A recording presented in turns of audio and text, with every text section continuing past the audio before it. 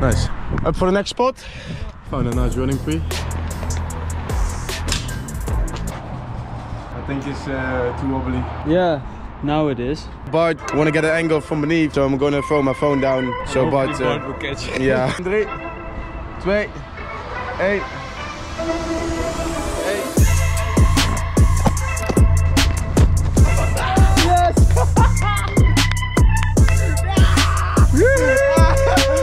Bart saves the day.